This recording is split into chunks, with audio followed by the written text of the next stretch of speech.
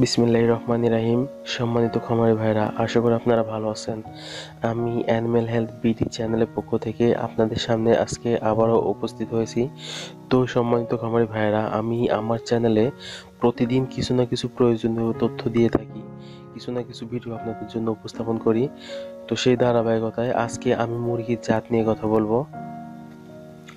তো সম্মানিত খামারি ভাইরা আমি আজকে যে মুরগির জাতটি নিয়ে কথা বলব, এটা আসলে খুবই জনপ্রিয় একটি জাত। যারা ডিমের জন্য মুরগি পালন করেন, তাদের জন্য তো খুবই বেশি আকর্ষণীয় এই বিষয়টি। আজকে আমি আমার পুরো ভিডিওতে লেঘন জাতের যে মুরগিটি আছে, এই মুরগিটি নিয়ে কথা বলব। এই মুরগিটি কোথায় পাওয়া যায়, তারপরে উৎ- উৎ- উৎপত্তি স্থল কোথায়, তাছাড়া কতটুকু মাংস হয়, কতটি ডিম দেয়, এই বিষয়গুলাই বুঝিয়ে বলব। তাছাড়া কি কি বৈশিষ্ট্য দেখে আপনারা মুরগিটি চিনবেন এই বিষয়গুলো ছোট্ট করে প্রাথমিকভাবে আলোচনা করব। তো আমি বলব যে আমি এই ভিডিওর মধ্যে এত গুরুত্বপূর্ণ কিছু কথা থাকবে যে আপনারা যদি ভিডিওটি প্রথম থেকে শেষ পর্যন্ত মনোযোগ দিয়ে দেখেন, তাহলে এই লেঘন জাতের মুরগিটি সম্বন্ধে খুব ভালো একটি ধারণা তৈরি হবে। তো আসলে সত্যি কথা বলতে আমাদের দেশে যারা পোলট্রি খামারি আছে যারা খামার আকারে মুরগি পালন করে, তারা তো কম বেশি সবাই ট্রেনিং নিয়ে থাকে ট্রেনিং নিয়ে তারপরে মুরগি পালন করে। আর যারা ছোট আকারে মুরগি পালন করে, বাসা বাড়িতে মানে আবদ্ধ করে মুরগি পালে না ছেড়ে দিয়ে মুরগি পালন করে, তারা মুরগির জাত সম্বন্ধে খুব একটা জানে না। তাদের মধ্যে অনেকে এই পেশায় আসতে চাইলেও খুব একটা ভালো ধারণা না থাকার কারণে খুব একটা সফলতা পায় না। তো আমি বলব যে, যারা মুরগি পালনে আগ্রহী, তারা যদি আমার ভিডিওটি প্রথম থেকে শেষ পর্যন্ত দেখেন এই মুরগির জাত বিষয়ে অনেকটাই ক্লিয়ার হয়ে যাবে। তো লেঘন জাতের মুরগি, এটার উৎস্থল হচ্ছে ইতালিতে, ইতালির লেঘর্নে তো মূলত সেখানকার শহরের লেঘর্ন শহরের নামকরণ অনুসারেই এই মুরগিটির নামকরণ করা হয়েছে লেঘর্ন আর লেঘর্ন জাতের মুরগির তেরোটি উপজাত রয়েছে। যেমন সাদা, কালো এবং লাল, তাছাড়া আরও অন্য অন্য উপজাতও রয়েছে।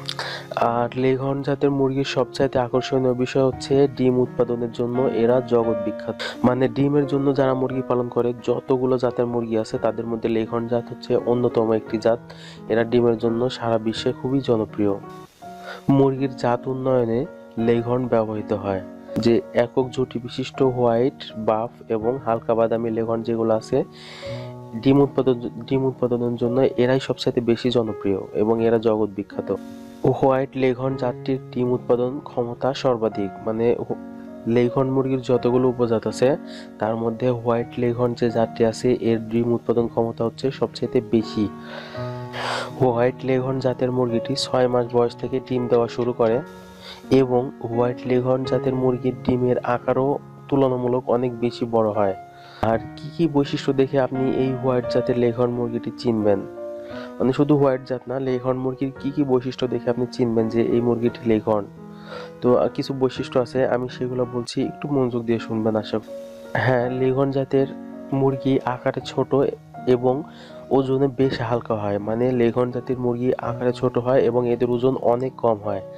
দেহ ত্রিভুজাকার অর্থাৎ কাঁধের দিকে হালকা এবং লেজের দিকে ক্রমশ সরু এবং দেহ আটসাট।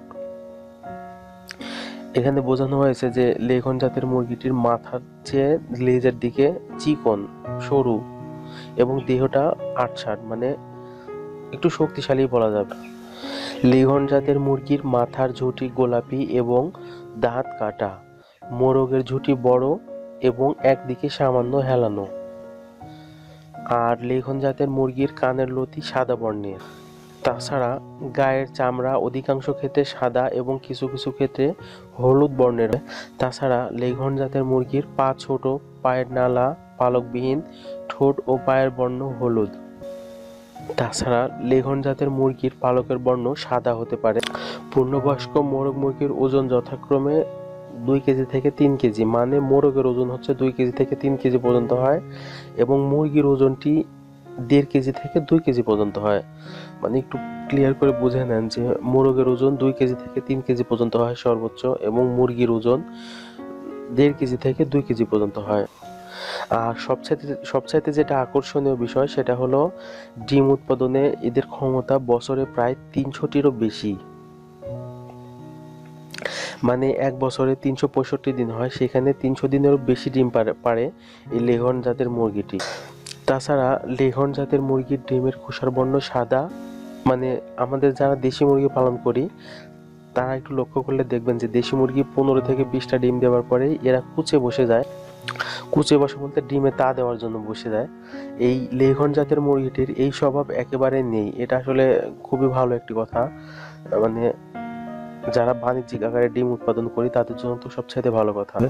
তো সম্মানিত খামারি ভাইরা এই ছিল লেঘন জাতের মুরগি নিয়ে কথা। আমি আমার সাধ্যমতো বুঝিয়ে বলার চেষ্টা করেছি। যদি কোনো ভুল ত্রুটি হয়, তাহলে অবশ্যই ক্ষমা করবেন। যদি কোনো জড়তা থাকে কোথায়, সেটাও ক্ষমা করবেন। আর আপনাদের যদি কোনো কিছু বুঝতে অসুবিধা হয়, সেক্ষেত্রে কমেন্ট করবেন। আমার ভিডিওর নিচে কমেন্ট করবেন এবং আমি আপনাদের জন্য ফেসবুকে একটি গ্রুপ খুলেছি। গবাদি পশু, পোলট্রি, কবুতর, পাখি এগুলোর চিকিৎসা, খাদ্য বাজার ব্যবস্থাপনা নিয়ে। যদি সেখানে কমেন্ট করেন, সবচাইতে ভালো হয়। আর যারা আমার ভিডিওটি প্রথম দেখছেন, তাদেরকে উদ্দেশ্য করে বলব, যদি চ্যানেলটি সাবস্ক্রাইব করে না থাকেন, তাহলে অবশ্যই সাবস্ক্রাইব করবেন, যদি আপনার প্রয়োজন হয়। আর নতুন নতুন ভিডিওগুলি অন করে দেবেন। ভিডিওটি যদি ভালো লাগে, তাহলে অবশ্যই লাইক কমেন্ট শেয়ার করবেন। আর আপনাদের খামারের জন্য শুভকামনা জানিয়ে এবং আপনাদের সুস্বাস্থ্য কামনা করে আজকে এখানে রাখছি। ভালো থাকবেন। আল্লাহ হাফেজ।